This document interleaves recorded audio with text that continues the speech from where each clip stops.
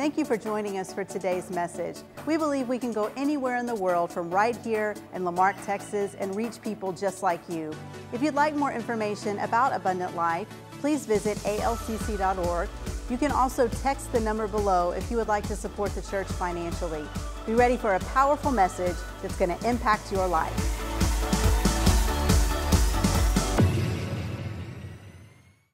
I was uh, I was driving the other day in my car, and my daughter Mercedes had gotten one of these from somewhere. I don't know where she even got it from. Had to got it from Children's Church, I guess. I don't know. Anyways, it was sitting in my car, and I saw it, and I was like, man, I hadn't seen one of those in like 20 years. I said, I, it scares me that I'm old enough now to say that I haven't seen something in 20 years, but I looked at this and I was like, man, I hadn't seen one of these in forever. And so I stuck my finger in it and I was just like, oh man, that's so cool. I can't believe like it, it fits like it's my kids, but it, you know, it fits my finger. That's awesome. And and I'm sitting there at a red light with my finger stuck in the trap, and I look and I was like, man, that's crazy. And I stuck my other finger in. True story. I stuck my other finger, and I swear to you, I'm three cars back, and the light turns green. And I was like, oh Jesus, what am I gonna do? I was like, oh no. And so now I'm like, I'm yanking at it, I'm pulling it. I was like, I'm. I, so I drove from 2351 Clear Lake City Boulevard past Bay Area Boulevard, like almost into League City with, I mean, I was at like, I was at 11 and 1, like not even 10 and 2 because it didn't stretch that much. But I was like, God, how do I get this? I couldn't remember how to get this stupid thing off of my fingers. And so I know now how to, how to do it, but I didn't know then and I got stuck. And so it did its job, like well played Chinese finger trap. The Chinese did it right in that. So tonight, 1 Samuel chapter 14, if you have your Bible. If you don't, they're going to throw it up on the screen, so you'll be all right. 1 Samuel tonight, chapter 14. And, and the reason we have these tonight is because I don't know if anybody's ever felt stuck before. Anybody ever been stuck? You got stuck at a job that you couldn't stand? Got stuck in a marriage? Yikes. oh. got quiet. That's for the Sunday morning crowd, not for y'all. I know y'all got it right. But you're stuck. You got stuck with some debt that you didn't think you deserved. You got stuck in a situation. Maybe maybe you got struck stuck at, at the strip club because your buddies left you and now you got to find a way. I look, I don't know your story. I don't know where you come from. But we've all been stuck somewhere. We've all had an opportunity where we got stuck in a place that we didn't want to be that maybe we got ourselves into, maybe we didn't, but the reality was is we were stuck. And that's what we're going to talk about tonight. We're going to talk about how to get yourself unstuck. How to get away from being stuck. Look at your neighbor and say, "You're stuck for the next 30 minutes listening to this." maybe 45 if we're lucky, we'll see. 1 Samuel 14 verse 1. One day Jonathan the son of Saul, said to his young armor bearer, He said, Come, let us go over to the Philistine outpost on the other side. But he did not tell his father. And Saul was staying on the outskirts of Gibeah under a pomegranate tree in Migron. And with him were about 600 men, among whom Ab- Ahijah was wearing the ephod of God. And he was the son of Ichabod's brother, Ahitub, son of Phinehas, the son of Eli, the Lord's priest in Shiloh. It's a lot of names that are weird to pronounce, but I got through it and no one was aware that Jonathan had left. On each side of the pass that Jonathan intended to cross to reach the Philistine outpost was a cliff, and one was called Bozez, and the other was called Seneh. One cliff stood on the north towards Michmash, and the other stood on the south towards Geba. Okay, now let's skip down to verse 14. And it said, In the first attack, Jonathan and his armor bearer killed some 20 men in an area of about half an acre. Then the panic struck the whole army, and those in the camp and the field, and those in the outposts and the raiding parties, and the ground shook, and it was a panic sent by God. So, what I did was I gave you the beginning of this story, and I gave you the end of the story, but I'm going to talk about the middle of the story. I'm going to talk about what happened in the middle because I think that this is going to make some sense to you. Uh, first of all, I, I just want to kind of explain to everybody I'm going to give you God's plan for your life. Look, Drake saying about, saying about it, but I'm going to give you what God wants you to have. You know what God's plan is for your life? God wants you to win. I need a better amen than that if, if I felt like I was back in my Presbyterian church when I was a kid. God wants you to win. The problem with saying amen to that is to for some of you that statement contradicts your experience. Because I'm telling you, God wants you to win, but all you're feeling in life is loss. All you're feeling in life is struggle. But I'm telling you, God wants you to win. God's got a plan for you. But you're saying to me, sin where you're sitting, you're saying, man, that's nice to hear. God wants me to win. You know, that's that's the most like pat Christian statement there is. God wants you to win. And you're like, man, that would be awesome. Tell the debt collector. Tell my doctor. Tell my kids that won't talk to me. Tell my wife who hates me. God wants me to win. Where is He? I don't know if anybody has ever experienced that before. I mean, I know y'all got your, your angel's wings tucked in deep tonight, kind of just patronizing me. But I'll be real with you. I've had experiences like that where somebody said, God wants you to win. I'll be like, man, it would be awesome if He would show up and do that because my experience contradicted the statement. You see, so many of us, what we want to do is we want to bring our theology, big church word, we want to bring our theology down to the level of our reality. But God doesn't call you to bring His theology down to your reality. He requires you and He calls you to elevate your reality to the level of His theology. That's a heck of a place to amen right there if you were going to do it. Why? Because you're saying, I'm going to go ahead and not look at what I see, not look at what looks like it's going to be the end of me, but I'm going to take the reality that I have in life and I'm going to lift it up and believe that I can see from a different perspective. Because if you can see from a different perspective in your life, if you can get away from the woe is me, I can't handle this anymore, if you can step outside of that for just a second, Man, I'm telling you, it changes the way you react. It changes how your life is. And so some of us are in a cycle of being stuck. We are in a cycle of being stuck.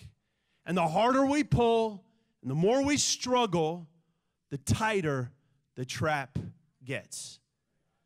I don't know if anybody's put their finger trap on yet. You can if you want to try it. I'm going to explain how it works real quick so you're not just sitting there all day like pulling at it. So, watch, put your fingers in. Let's all do this together. It'll be fun. Come on. Oh, there you go. See if you can get your pinky around. Um, but watch, you got this. Okay, everybody got it. Look, the harder you pull, let's just do this for an experience because I want you to feel what it's like. The harder you pull, what happens? The tighter it gets. So you're stuck and you're pulling, trying to get out. But the harder you pull, the tighter it traps you. And then you start getting nervous. And then you start worrying Am I ever going to get free of this or am I stuck for the rest of my days? I'm trying to give you something physical to relate to what's happening in the spiritual. So you're pulling hard and you're getting more and more trapped. You want to know how to get out of it? Push. You push and you get out, but you pull and you stay trapped. So I was sitting there in the car pulling.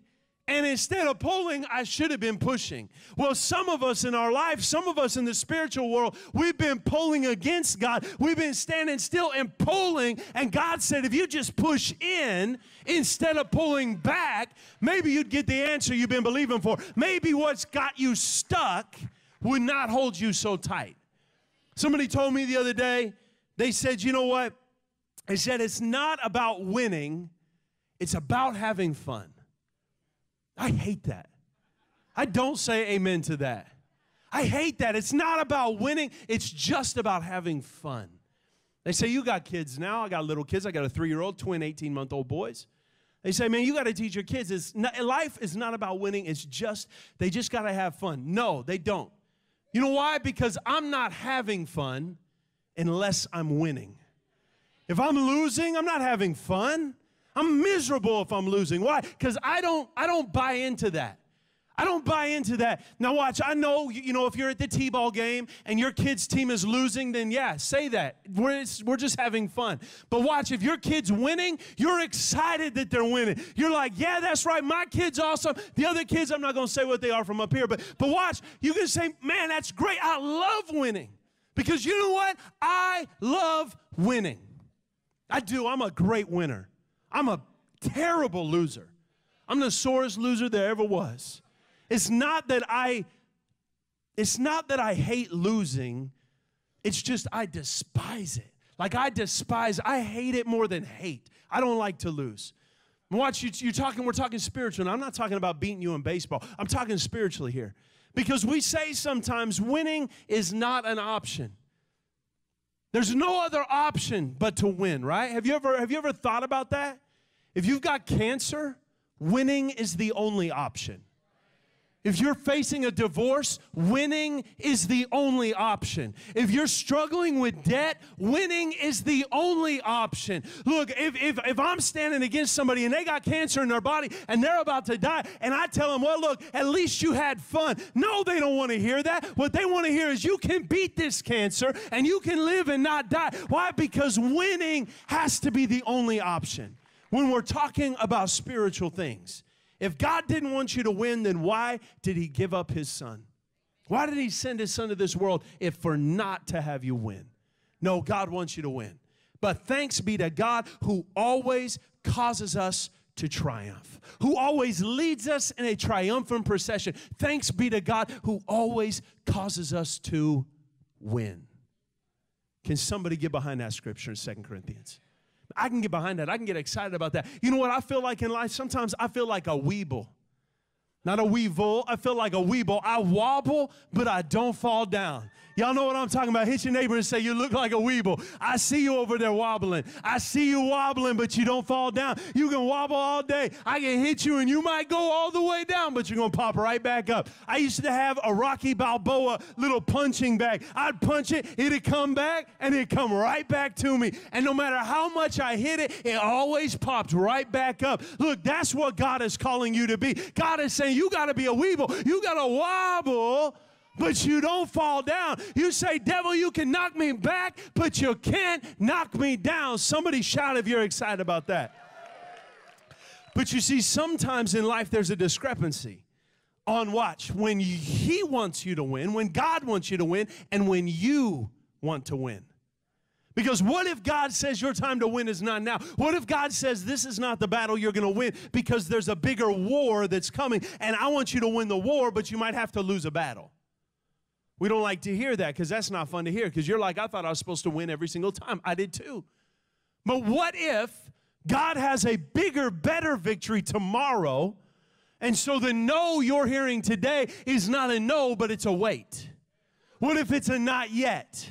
And so, what if you've been believing for a yes, but God says not yet? What if God is saying, I've got something better for you tomorrow? Sometimes God is working on winning battles in us before he wins battles for us.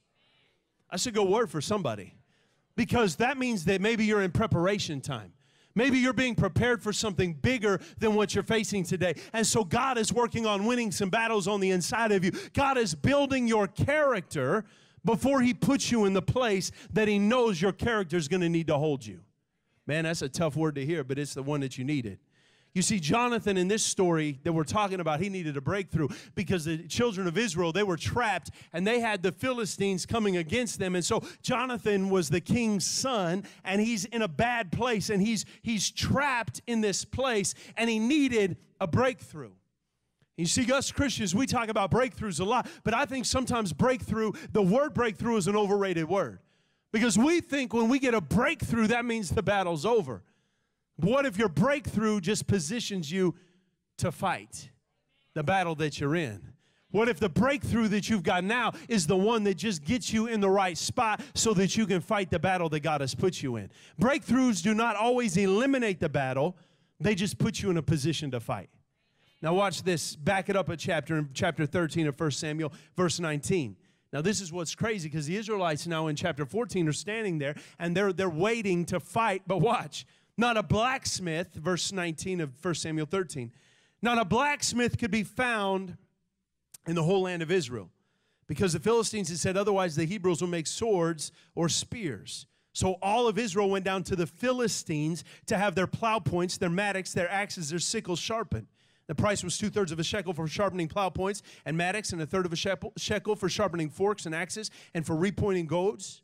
And so on the day of the battle, All right, watch this. The Israelites are going into a battle. On the day of the battle, not a soldier with Saul and Jonathan had a sword or a spear in his hand. So they're going up to war and they've got no weapons. Only Saul and his son Jonathan had them. Now, the detachment of the Philistines had gone out to the pass at Michmash. So Jonathan was at the pass. The Israelites were at an impasse. And how many of y'all know sometimes the devil tries to head you off at the pass?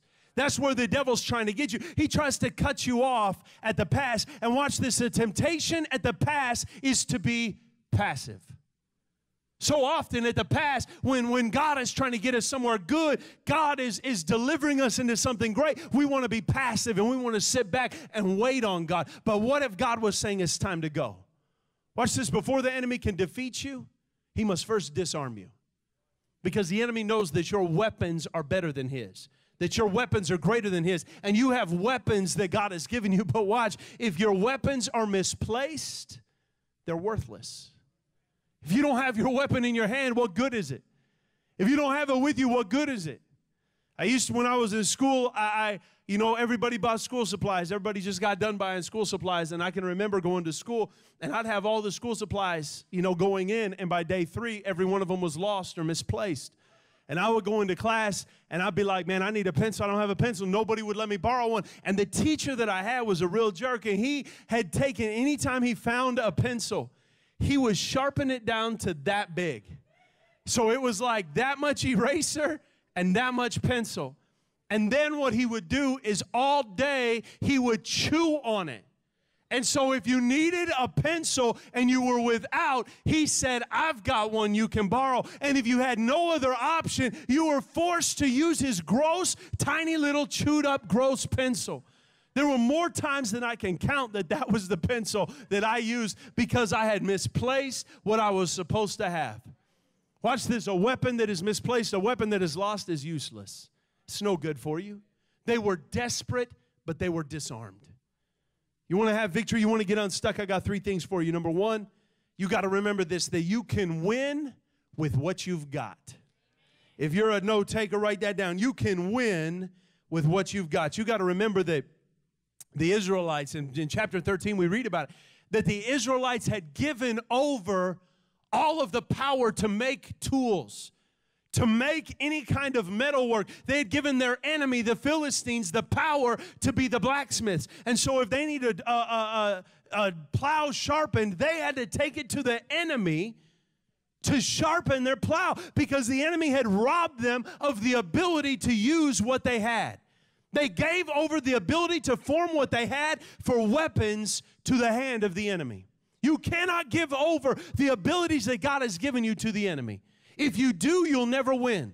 Watch this the devil has no problem with you being in the knowledge, knowing how to farm. He just doesn't want you to know how to fight. He says, You can wield a hoe, you can wield a pitchfork, you can wield a plow, but I don't want you to know how to use a sword. He has no problem with you knowing how to farm, but he just doesn't want you to fight. You see, they had iron, they had the resource, but they lacked the ability to do anything with what God gave them. Man, that's one of the greatest tools of the enemy. You can have all the skill, all the character, all the power in the world, but if you don't know how to use it, if you don't know how to harness it, if you don't know how to, to work it, you can have all the ability, but you got to work with what God gave you. But God says, Listen, I will teach you. I'm the blacksmith. God is the one that will divinely show you how to do with what He has given you. But you got to go to the one and watch when the iron meets the hammer, something erupts out of the fire of your life. The world brings the fire, and God drops the hammer. I don't know if anybody here has ever been under some fire, under some heat. But when life brings the heat, God always drops a hammer. It's about preparation. It's about preparation for your purpose. Man, this is one of the greatest verses in the world Isaiah 54 and 17. No weapon formed against you shall prosper. No weapon formed against you. That's what we're talking about here. That's what they're talking about. They're like, man, we got weapons that are being formed against us, but we've got none against none that are for us. But watch, no weapon formed against you will prosper. As a preacher, that's a great verse for me to talk about because you're standing there and you got stuff, you got struggles, you've got issues coming against you. And I can stand up here and say, I don't care what's happening in your life, no weapon formed against you. If the devil can form it, he can't conquer you, he can't control you, he can't own you with the weapons that he's formed against you. Why? Because God is bigger on the inside. But watch, just as great as that verse, I think this one's even better in verse or in chapter 49 and verse 2. It says, He made my mouth like a sharpened sword. In the shadow of his hand, he hid me. He made me into a polished arrow and concealed me in his quiver. You say, what does that mean? That means not only does no weapon formed against you prosper, but watch, now God is forming you into his secret weapon. God says, not only are you protected from the weapons of the enemy, but God said, now I'm creating you to be a weapon that can be used against the enemy. God is working things in your life. Hit your neighbor and say, I'm a weapon. Hit your second choice neighbor and say, I'm a weapon too. I'm a weapon. So, number one, what was number one? Number one is you can win with what you've got. Number two, you can win. Number two, you can win with who you have. Anybody got some haters in their life? Anybody got people that don't like them? That just hate on them? They've been drinking that haterade. That's what they say. Anybody got people like that? Anybody got people that don't like you? You don't even know why, but they just don't. I got all kinds of people don't like me. Go figure, right? I tell this all the time. I tell my mom that I'm like, Mom, man, these people they just don't like me. There's some people that just they don't like me. She's like, You? I was like, I know. Can you believe it? She's like, But you're the most likable boy that there ever was. I'm like, I know, Mom. It's crazy, but but I mean, there's crazy people in the world that just don't like me. She's like, Well, shame on them. I'm like, You're dang right, shame on them. Uh, but there's just people, man. Everybody's got haters. Watch, if you don't got any haters, then you're not doing nothing right. That means you're not standing for nothing. You're not doing nothing. If you don't got nobody that's telling you you're crazy, you must not be doing anything awesome. Because it's only the people that are doing something that got haters. I mean, that's the truth. But watch this. We're not just talking about people that are stupid, if I can say it like that. We're not just talking about people that hate you. But watch, what if I'm talking about people that left you? What if I'm talking about people that were your friends, but they're not anymore? That they were your they were the people that you thought man god brought these people into my life to help me to to make me into something great but now they're gone and they've left me but watch maybe they left you because their chapter in your life is over Man, that's a good word for somebody because God's writing the book of your life, and maybe the chapter that they were in is over. So God closed the chapter and they went their way. It doesn't make them bad people, but watch, God won't let anyone who left you limit you. That is a good word for somebody that you feel like you've been limited. You feel like you've been dragged back and, and robbed from, but God won't let anybody who left you limit you. If you can't live without them, they won't leave you. I'm going to say that again because I never heard it so quiet in my life. If you can't live without them, they won't leave you. If you can live without them, then it's okay if they go. And you've probably said, man, I just can't live. If they leave me, I can't live without them. And maybe that's the truth, but guess what? If you can't live without them, they'll never leave you. But if you can, then just know that they might. They might go. And it doesn't make nobody a bad person. It doesn't make them bad. It doesn't make them wrong. It just means their season in your life was over. And it doesn't mean they're bad. Because I got people in my life who left, and I got people who talked bad about me and said bad stuff about my family and bad stuff about people that I love. And you know what? That's all right. It doesn't make them bad people, it just means they were hurt people. And hurt people hurt people. And so I just realized in my life that not everybody's going to be with me forever. I wish they were. But there are some people that just got to go. And so I just bless them. I say, man, I'm, I'm happy that we had the time we had. And I hope you do well with your life. And I always watch, I always leave people like this. I leave them with arms wide open saying, look, if you ever want to come back, you got, you got plenty of options. Let's come back. But if you don't, man, I love you. I hope you do well in your life. One conversation in your world can change your entire life. One conversation can change your world. Jonathan had one conversation. He had one talk with one person and it changed his life forever. You just need one conversation. Why? Because if God is for you, who can be against you? Who can be against you? If you're doing what God has called you to do, it doesn't matter what anybody says, it doesn't matter what they think, it doesn't matter what they do. If God is for you, who can be against you? Not everyone was meant for the journey that you're on. So, Jonathan, the Bible says, won this battle. We, we spoiled the end of the story. Jonathan won the battle. They killed like 20 guys. And watch this it says, immediately after they won that battle, that people started coming out of the woodwork. That all the people that had left them, all the people that had deserted them, all the people they thought were gone forever, all of a sudden those people started showing back up. Why? Because have you ever noticed when something good starts happening in your life, all the people that left you and talked bad about you, now they start showing up. You win the lottery one time, I promise you're gonna have friends from, from way back that you didn't even know you had. All of a sudden, they're going to be knocking at your door and be like, hey, you remember me? I'm your cousin. You're like, yeah, my cousin. You used to sleep on my couch and eat my cereal. Like, how dare you? But they're like, I heard you won the lottery. What's up? And um, I mean, if you win the lottery, call me. I'll come say that if nobody else does. But watch, not everybody in your life was meant for the journey that you're on, but the people that God has put in your life on purpose, if they're supposed to be here, they won't leave. They're supposed to be here. If you didn't get encouragement from where you wanted, you'll get strength from God from where you needed it. In the area that you needed it, you'll get strength, even if you didn't get the encouragement that you were expecting. Because so many of us, man, I, I don't know about you, but I thrive on encouragement. I love being encouraged. I encourage myself. My wife encourages me. Man, I know I've preached bad messages before, and I'll get in the car and she'll encourage me. And if she doesn't, I'll call my folks up because they watch every week. I'll be like, hey, y'all, did you watch that? They'd be like, oh my God, that's the best message you ever preached. I'm like, that's right. Thank you. That's all I needed to hear. You did your job. I'll talk to you later. Click, it's over. They just like, I'm going to have them record that and I'll just listen to the voicemail and it's over. That's the way it needs to be. Watch, we all like encouragement. But if you don't get encouragement from where you want it, God will give you the strength where you need it. Because that's the God that we serve. Number three, point number three, as we get ready to wind this down. You can win from where you are. You can win with what you got, you can win with who you're with, and you can win from where you are.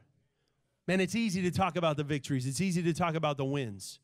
But you know what? This, this whole chapter you got the beginning of it that talks, that gives the context, that tells you they're in a battle. You got the end of it that tells you Jonathan won. But the middle of the chapter is talking about the journey from where he was to where he needed to be.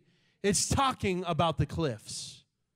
Not like the cliffs like the dude named Cliff that's like there's two of them and they're the cliffs that are in this battle. But I'm talking about the two cliffs on the side of the valley because that's what it's talking about. And we're going to talk about it in a second. Because on each side of the valley was a cliff. One was called Bozaz, which and one was called Sena, okay? So you got Bozaz on one side and you've got uh, Sena, Sena on the other. Now it's interesting because they mean different things, obviously, because they're different names.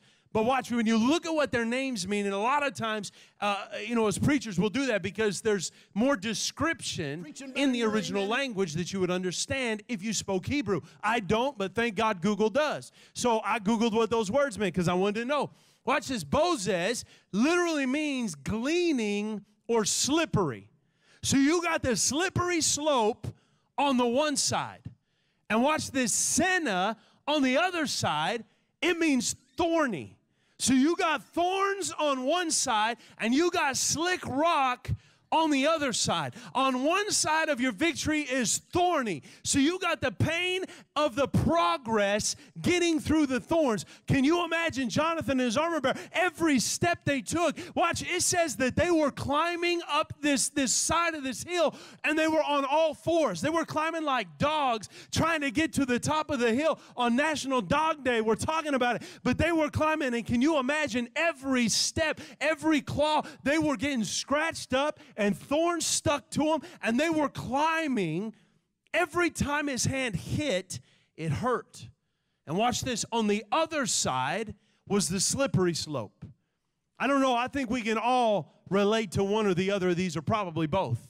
That you've been struggling in life, going through what feels like thorns, and every step you take, you feel like you're getting stabbed. But on the other side, when you say, man, it can't get worse than this, but on the other side is a slippery slope, and that's the fear of failure. The fear of if I get too high and I fall back, I'm going to lose. I've got slippery slopes on one side. And watch, every time I get to a new height, that just means I've got farther to fall. Because we all deal with stuff like that. We all think about it like that. If you don't, then I need to be listening to you talk. Because obviously you got it figured out because I'm dealing with stuff like this constantly where, where I'm slipping on one side and I'm being stabbed on the other. And Jonathan and his armor bearer are climbing up hands and feet. They're exposed, they're vulnerable, but they're committed. You want to be successful in life, you want to be able to get unstuck when you're stuck and trapped, then there are some areas that you've got to expose in your life. There are some areas you've got to be vulnerable in your life. You've got to be committed. Because you can win without supplies, you can win without supports, you can, you can win where you are in a bad situation. You can win with no diploma, no bank account. You can win in a bad situation. But there's one thing in life that you can't win without. And some of us are sitting there thinking, man, Jesus, I can't win without Jesus. All right, that makes sense.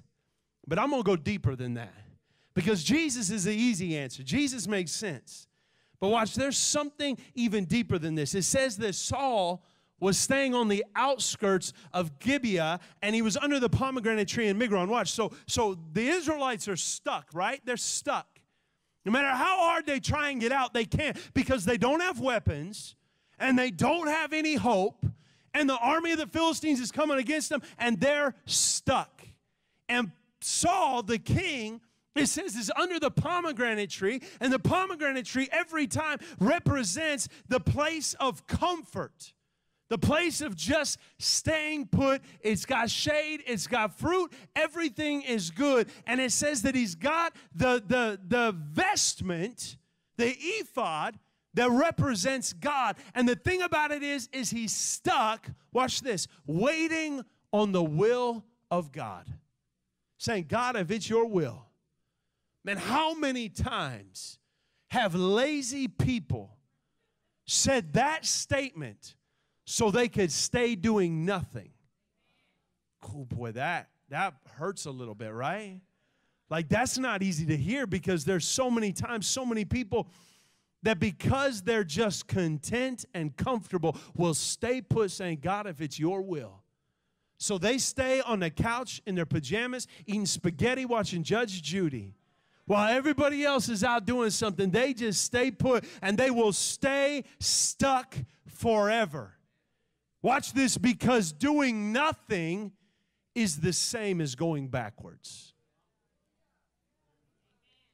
Doing nothing is the same as going backwards. It's the same as if if I'm if I just did nothing with this Chinese finger trap for the rest of my life, my fingers will stay here forever. It's not like this thing's magically going to disappear. It's going to stay like this forever. Doing nothing is the same thing, watch, as pulling by myself. Trying to get out of it, by myself saying, I'm going to just pull until this gets fixed. The pomegranate is luxury, it's business as usual. It's waiting on God to give an opportunity. But watch, Jonathan finally got fed up and he said, Man, I'm not going to sit here like everybody else and just waste my time. He said, I'm going to do something. Watch this. He activated the will of God. He looked at his buddy and he just said, I don't need everybody. I don't need a whole crew to go with me. I need one person who's going to volunteer. His armor bearer, they do this with him all the time, was like, man, let's go. He said, let's go and face this thing that we fear. Watch this. He tells his armor bearer, he said, This is how we'll know. He said, Watch, I'm not going to wait for God to tell me. I'm going to make it happen. So what did he do? He said, God, I'm going to I'm going to force their hand because I know it's your will for us to win. Why? Because God already told them, I'm going to cause you to overcome in this battle. He didn't need a new word, He activated the word that was spoken originally. So, what did he do? He said, Man, let's go. And he said, If they say anything to us, if they say anything, then we're going to know that it's God's will for us to go. So they started hiking, they started going, and watch, it said that as they go, that somebody looks down at them and they're like, Boy, come and get it. They're like, Hey, we see y'all, and only one of you got a sword, so come and get it. And they're climbing up. They got scratches, thorns all over in them. They're worried about slipping on the other side, but it said they get to the top, and when they do, they start killing people. Jonathan kills the first one, grabs his sword, tosses it to his armor bearer, then they just start wiping people out. Over 20 minutes said, were killed like that. And I mean, that's kind of serious now because we're like, whoa, they killed him. But that's the way it was. But watch this. You've got to have will, not just the will of God, you've got to have will power. You want to be victorious? You want to get unstuck in your life? You say, man, I'm stuck in a marriage, I'm stuck in my finances, I'm stuck in whatever. You got to have willpower. Instead of pulling against God, instead of pulling against your situation, instead of pulling against whatever's going on, you've got to what?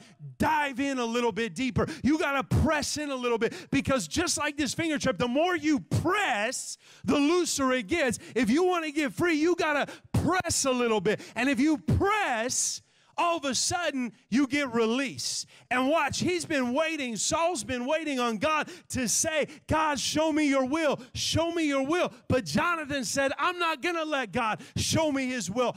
I will. Look at your neighbor and say, I will.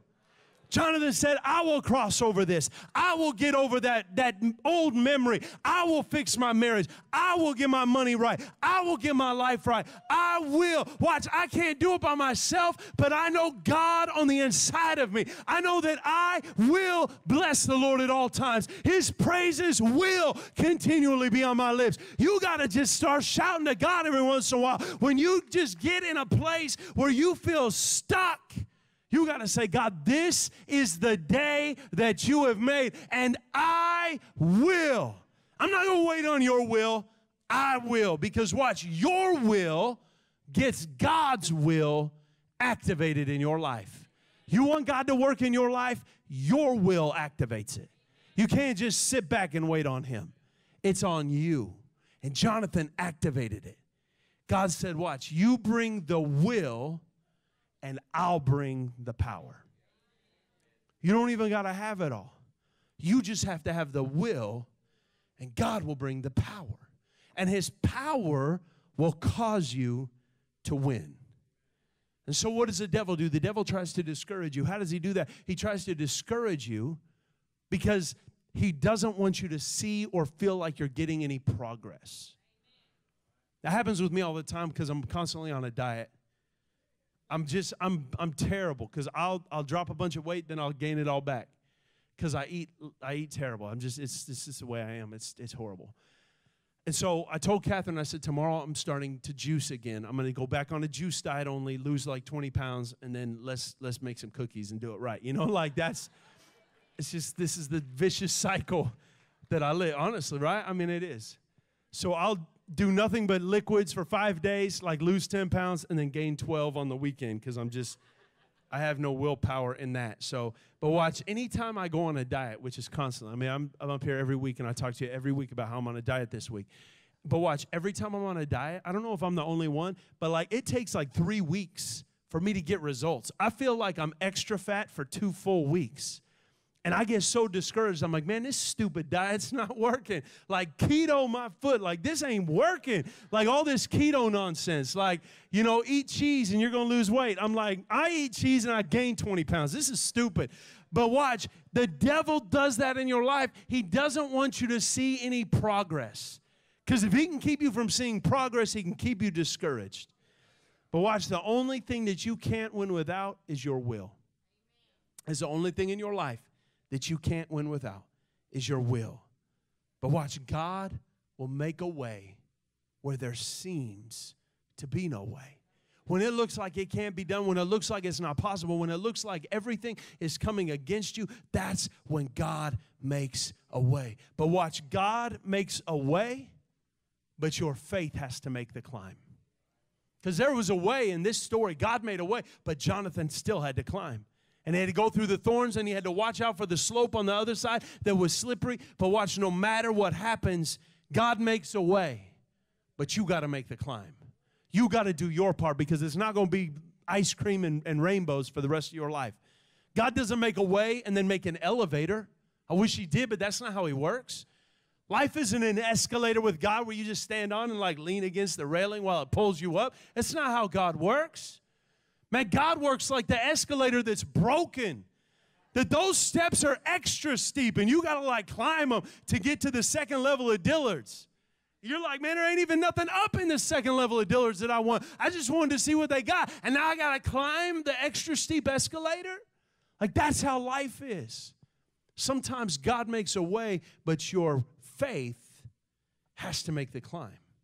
It may be thorny and it may be slippery, it may be costly, it may be painful, but watch, it's worth it.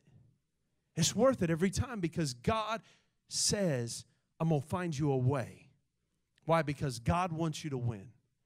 But you say, What's my job in this, God? If you want me to win, what's my job? Your job is to keep climbing. Because if you stop climbing, then how can you ever win? How can you ever get into the battle if you never make it to the battle?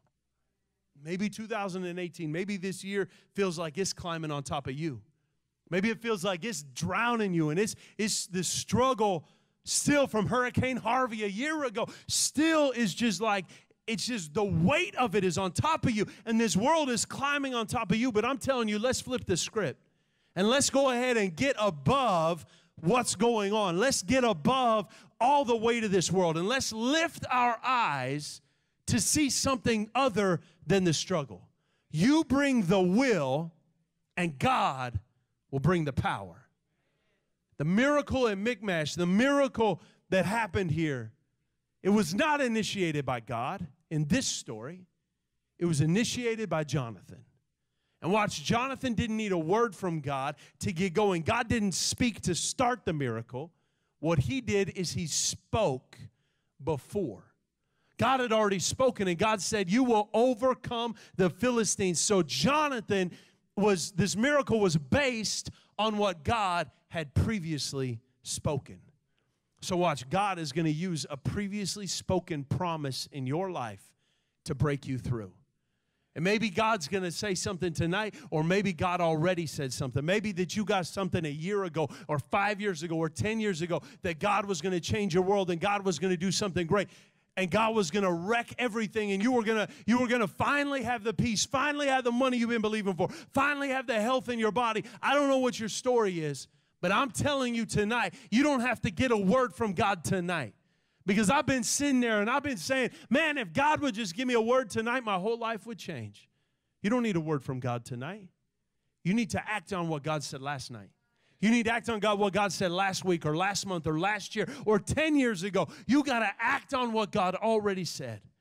And so many of us, watch, we stay stuck, pulling, trying to do it all ourselves, saying, God, I don't need you. I can do it all by myself. Or what? We stay stuck doing nothing. And doing nothing is the same as going backwards. But Jonathan pressed and he said, God, you already spoken, so I'm going to press. I'm going to give him my best. I'm going to do everything I can do, God, so that you can do everything that you can do. And watch, God's power is available for every one of us. You've got the power of God in your hand, resting there, waiting to go to work, but God is waiting on you. You're not waiting on God. And look, I don't know where you're at tonight spiritually. Everybody's in a different place. We all do different things. We've all been different places. We've all, you know, lived different lives. Every one of us. Some of our lives have been good, some haven't. But the great news is, is you're all in the same place at one time. And God said it doesn't matter where you were yesterday, it doesn't matter what you did five years ago. What matters is where you are here and what you're doing now. Look, I like to tell people all the time, man, God is less interested about what you've done and where you've been, and much more interested about who you are today and where you're going to be tomorrow. That's what God is interested in. But we don't hear that so often because it's easy to keep people bound up. But I'm not trying to get you stuck in a finger trap for the rest of your life. I'm trying to get you free forever. And so, right now, I'm going to ask every person, if you would, to just bow your head real quick and close your eyes. And I'm going to just ask before we leave this evening, and we're going to be out of here in five minutes. But I'm going to ask if you say, man, Josh, you say, you know what? God, I feel like I'm in that place. You say, I just, I feel like my life is just going crazy. I didn't, I don't know. I don't know what to do. I don't know where to go. You say, man, I, you know, if I died today, I don't even know where I would go. I don't know where I'd spend eternity. I don't even know if eternity is real. And you say, man, I just need to know. I want to go to heaven. I'm interested in going to heaven. I want that life. I want a new life. I don't want to be the same that I was yesterday. I want to be a different person. And maybe that's you tonight. And there's nobody looking around this evening. We got our heads bowed and our eyes closed. But I'm going to ask if that is you on the count of three. I'm going to ask you to just slip your hand up in the air and say, Man, that's me tonight. I want to change my life. I want my whole world to change. And you say, I want to be a better person tomorrow than I was today. If that's you on three, I'm going to ask you real quick to just slip your hand up. Nobody's looking around tonight. It's just me and you. Here it comes. One, two, three. You say, Man, that's me. I want to change my life. Thank you. Who else? I see you there. I see you there. Thank you. Who else? Anybody else? You say, Man, that's me. I see you back there. Thank you.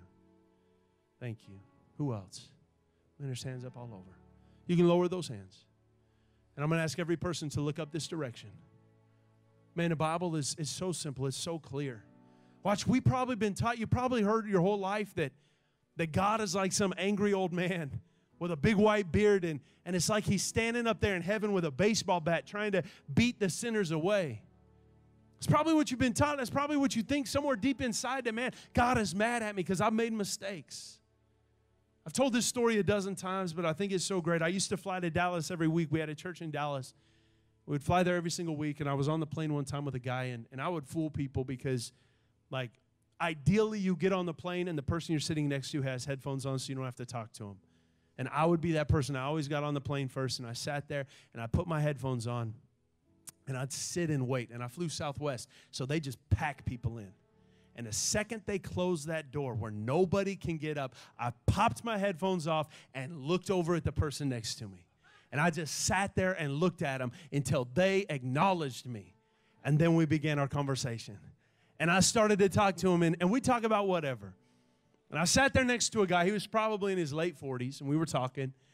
And he was a businessman, this and that. He was traveling for business, and, and he didn't ask what I did, and I didn't offer it up at first. And about three quarters of the way, 30, 40 minutes into the flight, he looked over and, and he said, Well, what do you do for a living? I said, Well, I'm a preacher. And he looked at me, he's like, You don't look like any preacher I ever seen.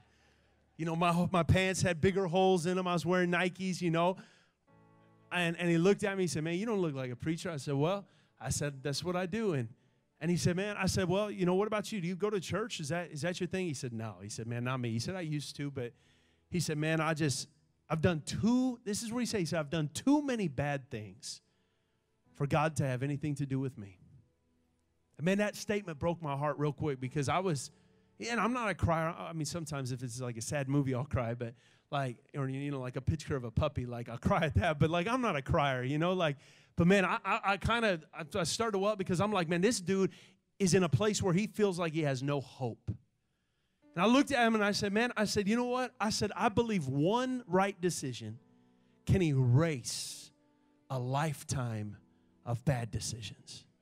He said, I've made 40 years of bad decisions. I said, Well, the good news is, is one right decision today can erase 40 years of bad. And he says, What do I have to do? And I took his hand on a Southwest airplane as we were landing in Dallas, and the two of us, with tears streaming down our faces, people looking at us like we're crazy, said a prayer together.